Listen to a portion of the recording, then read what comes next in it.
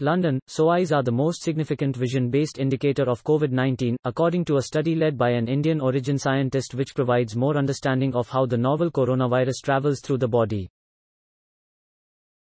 Researchers at Anglia Ruskin University ARU, in the UK asked people who had a confirmed COVID-19 diagnosis to complete a questionnaire about their symptoms, and how those compared to before they tested positive.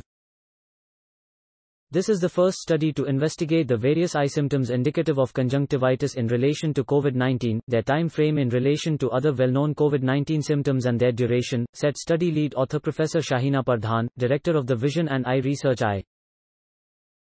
The study, published in the journal BMJ Open Ophthalmology, found that sore eyes were significantly more common when the participants had COVID-19, with 16% reporting the issue as one of their symptoms.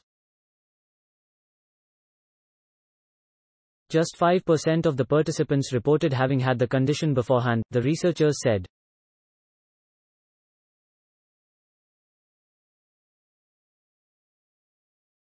While 18% of people reported suffering from photophobia or light sensitivity as one of their symptoms, this was only a 5% increase from their pre-COVID-19 state, they said. The study found that of the 83 respondents, 81% reported ocular issues within two weeks of other COVID-19 symptoms, and of those, 80% reported their eye problems lasted less than two weeks. The most common reported symptoms overall were fatigue, suffered by 90% of respondents, a fever seen 76% and a dry cough which was reported by 66%.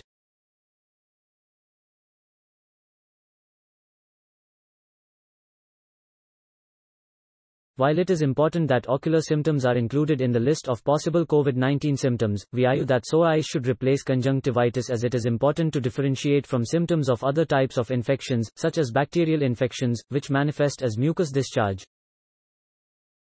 This study is important because it helps us understand more about how COVID-19 can infect the conjunctiva and how this then allows the virus to spread through the body, she added.